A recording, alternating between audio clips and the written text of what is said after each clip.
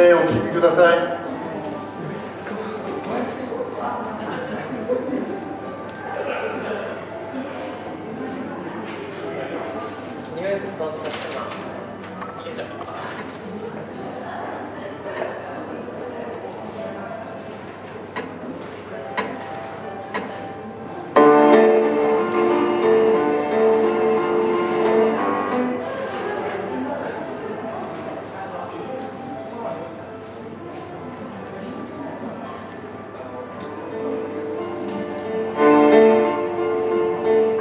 今日は午後2時から、えー、カルチャーセンターの、えー、講師の先生、えー、受講者の皆様方の発表会が2時から始まります、えー、今日とですね。明日は終日、え、ここで、えー、素敵な発表会が開かれます、え、先ほど、えー、その前のに、え、大変あのご協力いただきまして若手の芸人の方々のライブが終わりました。でこれからですね、えー、30分程度ですが、えー、まさ君の、えー、バイオリンをゆっくりと聴いていただきたいと思います。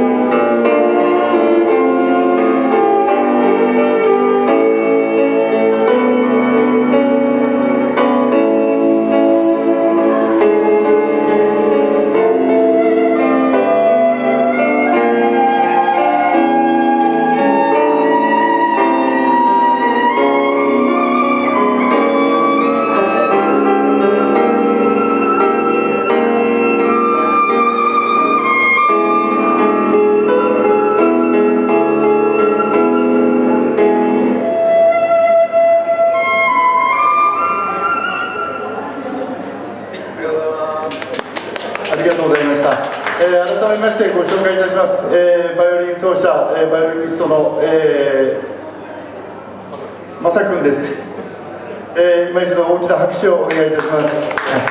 実はあのまさくんにはですね、えー、ちょっとプログラムに今回載ってないんですが、えー、急遽演奏をしていただくことになりました。えー、実は今年の1月の3日の日にですね、え、私ども上野カルチャーセンターのロビーで、えー、書道パフォーマンスをしていただいてその時に一緒に隣で演奏してくださったのが、えー、まさくんでございます、えー、大変素晴らしい、え、音色とですねなかなかそのアンプにつなげてこう奏でるバイオリンというのもなかなか私どもも初めてといいますか、えー、そういう楽器もあるんだなということで普通のバイオリンとはちょっとまた違った音色を楽しんでいただければと思います。あの